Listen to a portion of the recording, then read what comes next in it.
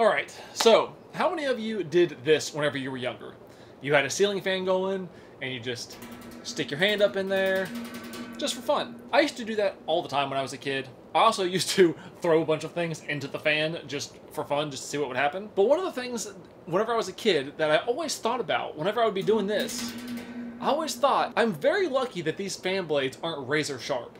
And also, what would happen if they were to be razor sharp? So today, we're going to fulfill the prophecy and figure out that answer. So first step is we gotta sharpen these bad boys up, and these things are very thick. So these things should be the perfect candidate to be sharpened.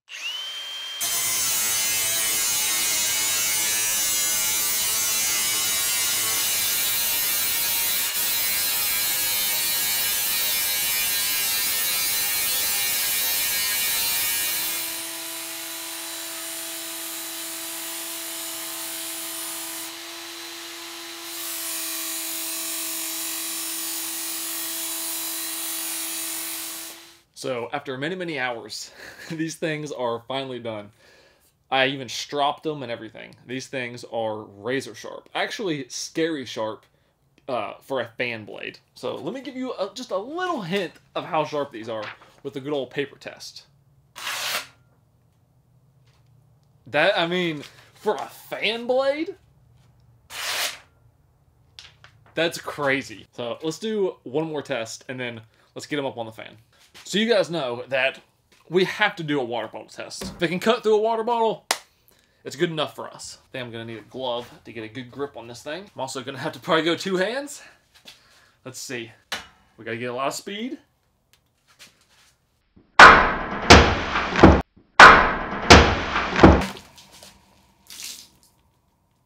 Are you kidding me?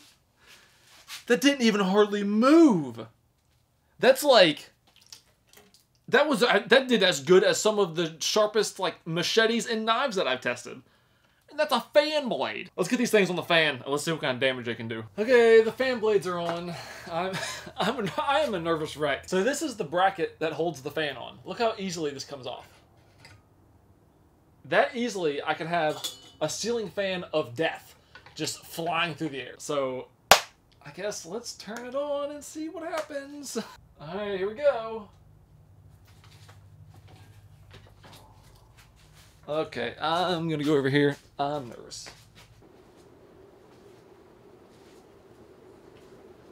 Okay, I don't like that it's wiggly, but it seems decent.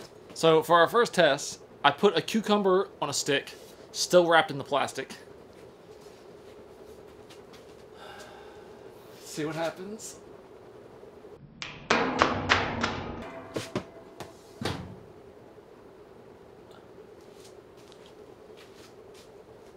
Cut it clean off. Let me just jam it up in there.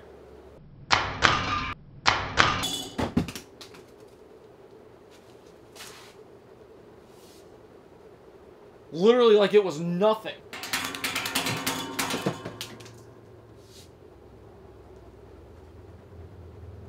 Okay. All right. So I guess now we answer that childhood question. What would happen if you stick your hand in there? We have the ballistics gel hand from the last video, bones and everything. Oh, all right. I'm gonna try to get just the tip, see what happens.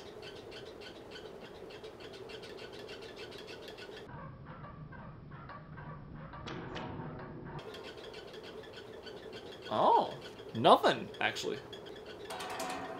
That's kind of crazy. Maybe you gotta jam it in there?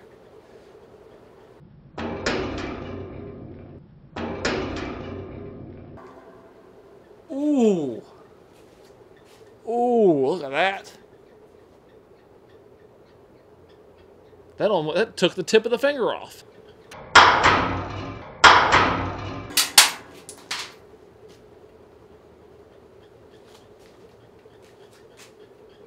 That did take the tip of the finger off. What what have I built? All right, worst case scenario. Let's say you got your hand stuck in there, like deep into the meat of your hand what happened.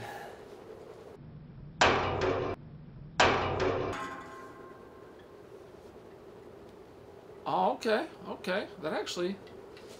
I mean, it cut the finger, but not uh, not that bad.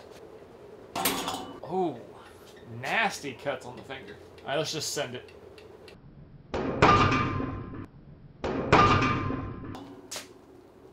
Oh.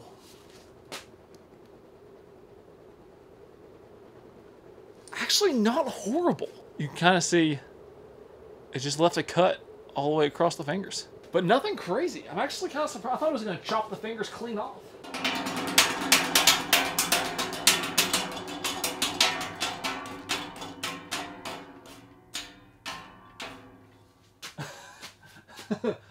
so if you if you used your hand to try to stop this fan, I mean you you'd be pretty messed up.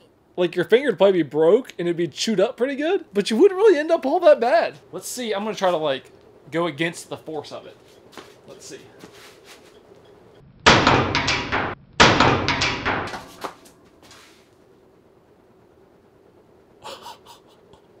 So, so imagine, oh man, look at that. All the fingers are missing. So imagine if you like were like maybe what if you were gonna like high five somebody and your hand got ca- caught in the fan? You'd lose all your fingers. That's crazy. So I also have a ballistics gel foot. So I want to see what happens. Just something with a lot of meat and a lot of bone. Like how, how deep will it cut in there?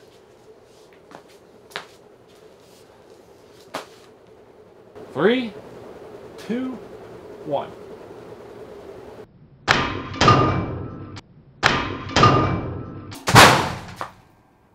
There's no way. Look at this.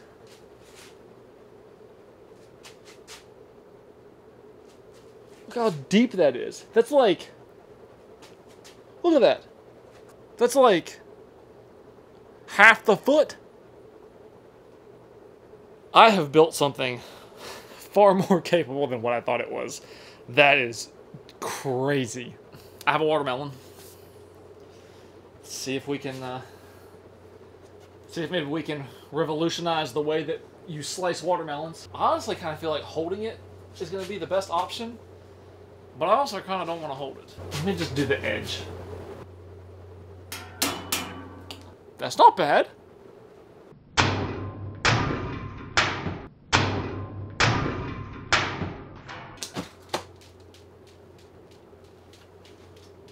The amount of speed it cuts with, it like just the smoothness that it slices through things is honestly terrifying.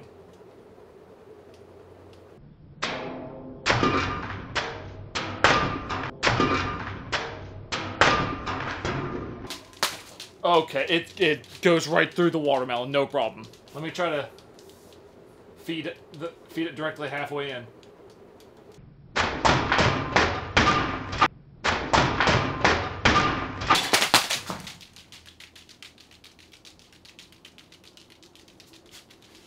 Are you are you kidding me? It it it sliced it like four or five times without even really slowing down. No problem. And now I have watermelon juice everywhere. I just got watermelon juice. Oh, there's watermelon juice on the camera. It's everywhere. I just got it in my eye. Look at all that. Well, I have another watermelon that is much bigger because I honestly didn't think that it would cut through the uh, small one.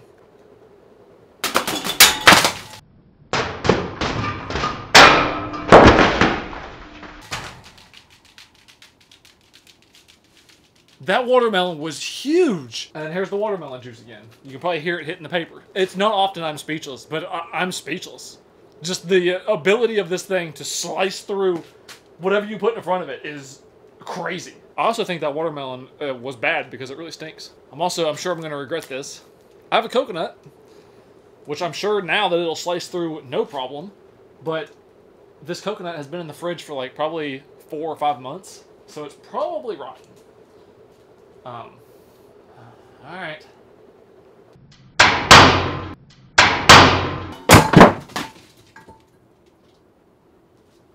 I think it cut it in half.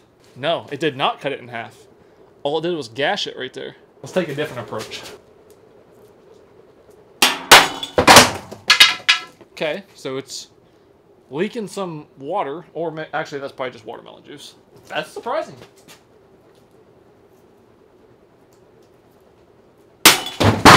Okay, yep, that cracked it open. Yep.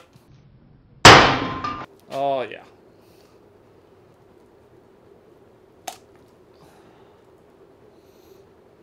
Oh, that's actually kind of crazy. It looks really good on the inside. And it doesn't smell bad or anything. All right. I have one last thing I want to try and just see what happens.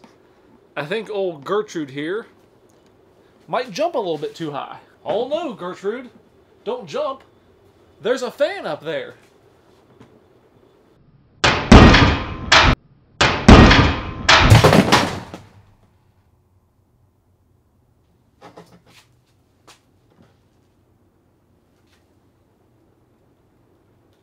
Okay.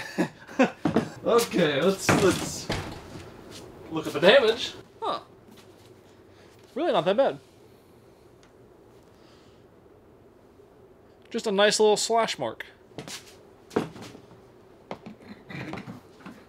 Maybe we'll try just one more time.